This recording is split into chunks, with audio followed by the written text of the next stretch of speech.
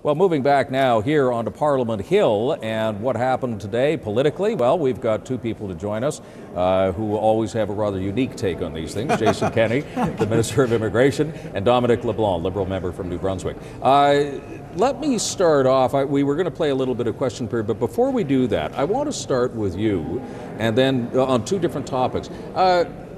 Janet Napolitano said last night, I don't know if you heard the clip or not, but it was, uh, we have the tape on the show, and she says that the real threat from Canada is Canada's immigration policy. And her quote was, You, meaning Canada, let in people into your country that we wouldn't let into our country.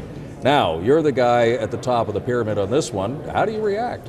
That's absolutely wrong. You know, we ever since uh, and before 9/11, Canada has cooperated with the United States on issues of continental security, including as it relates to immigration. As the Prime Minister said when President Obama was here, we view any threat to the United States as a threat to Canada. And uh, I can tell you our government has increased uh, resources to uh, ensure that, that our security interests are protected when it, when it comes to those who are visiting, uh, visiting Canada.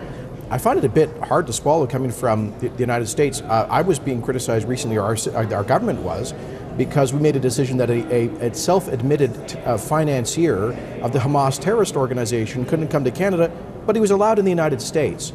So, uh, you know, I think if we actually look at the American record on these issues, um, they should uh, take care of their um, they should take care of their own problems uh, before being uh, uh, unreasonably critical of other countries. It hasn't really been a stellar week for the Americans, especially the Department of Homeland Security, in dealing with Canadian affairs. I mean, first you had the 9 11 comments of a couple of days ago at an interview, and now these comments saying, well, the immigration system here is no good, and that's why they have to keep the border. Uh, I mean, it strikes a lot of Canadians. I think that there was this expectation under the Obama administration that things were going to be great for Canada, that things were going to improve.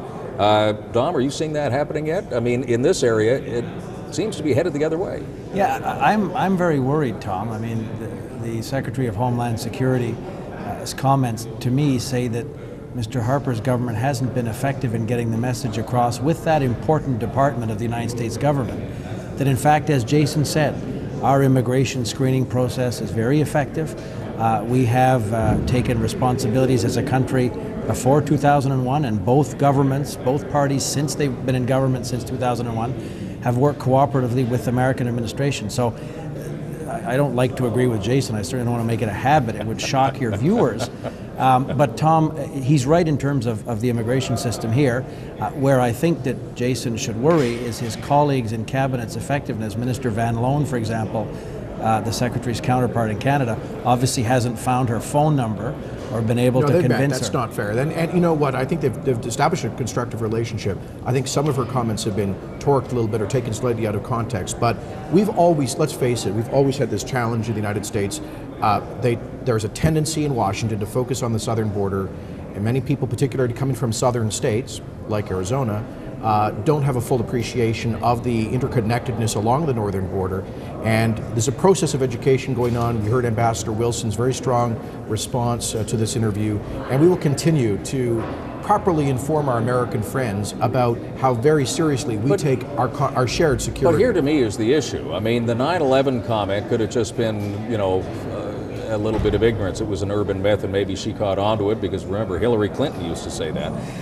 But this one saying that our immigration system poses a clear and present danger. Now, I'm, that's not her quote, but that's the effect of what she was saying. Clear and present danger to the United States, which is that it's not that she got it wrong, it's that she believes this. And that if she believes it, there's a whole department of the U.S. government that believes this, and policy is being made on that. So it's not a, it's not a something she misspoke about. Well, uh, Tom, I got to tell you, uh, we, as I said, we, we, this is not a new phenomenon in, in yeah. Washington, uh, and uh, you know, I've I've met very senior uh, Congress people who didn't even know that Canada was the number one trading partner of the United States or the number one energy supplier, didn't know the, the length of the border. This is a constant challenge, and we, you know, we were just ridiculed recently for hiring two top former White House press secretaries to help us communicate better in Washington. Every government, regardless of the stripe in Canada, has to assert our national interest, and it's a challenge to get it paid attention to. Just last week, though, Janet Napolitano's number two deputy secretary was was here in Ottawa, met with her counterparts.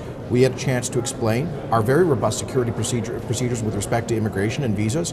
And I think we're on a practical level actually making progress. Uh, Dominic, I just want to switch gears for a second because, of course, the big story around here today is the release of Bob Fowler and Louis Guay, and you know we're all delighted for that. Uh, I must ask you though, because you uh, came out uh, publicly after having spoken to uh, Bob Fowler's family and said publicly what they were thinking, and I understand that the government was a little bit miffed at you for doing that. Did you have the clearance of the Fowler family to say what you said? All I said, uh, Tom, was that the Fowler family, from my discussions with them, we were very, very grateful for the terrific work that the government's done, that they were anxious to have a formal confirmation by Canadian authorities following the process that it's appropriate for them to follow.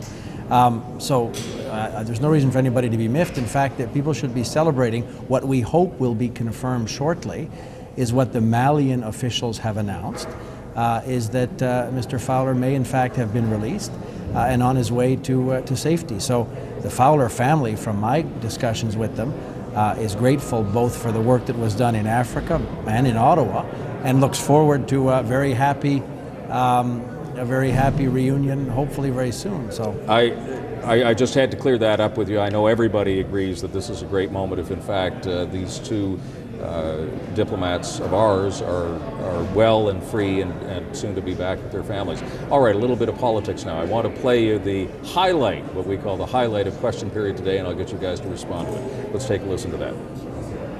Does the Prime Minister understand that the assumptions of his January budget no longer hold? Will he revise his own projections in respect of revenue and deficits? And will he bring forward additional measures to help the vulnerable and working Canadians? Mr. Speaker, as you know, we will uh, constantly analyze the situation and take whatever measures are necessary. But as the IMF and others have said, we are taking the appropriate course of action. Now, I know Mr. Speaker, the leader of the Liberal Party, the kind of additional measures he wants are increases in taxes. And, Mr. Speaker, that's not what we're going to do. This is a prime minister who spent us into the red in the good times.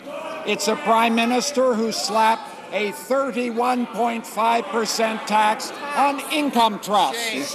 This is a prime minister who's going to leave us with the biggest deficit in Canadian history, and he's giving me a lecture on economics. The fact is this virtually every country in the world is running a deficit, and the reason we are running a deficit is to take money that the private sector is not using and to make sure it is employed for the benefit of people who are losing their jobs. Mr. Speaker, that's why we have surpluses in good times so that we can act when times are tough, and none of that. There is no excuse for an agenda to raise taxes.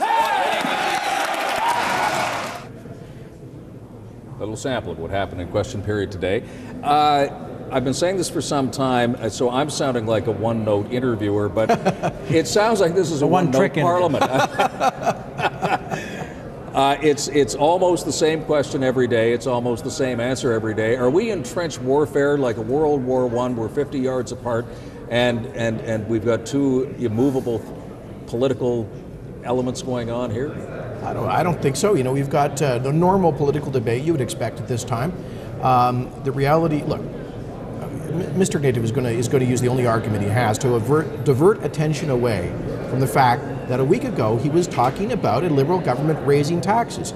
Now that's you know that's fine. He can that's a legitimate policy option, but you know he should just be forthcoming with Canadians. Which taxes, by how much, and who are they going to hit? We don't think that's the right economic policy during a recession to raise taxes. We're actually reducing taxes, and that's a fair debate to have. Dominic.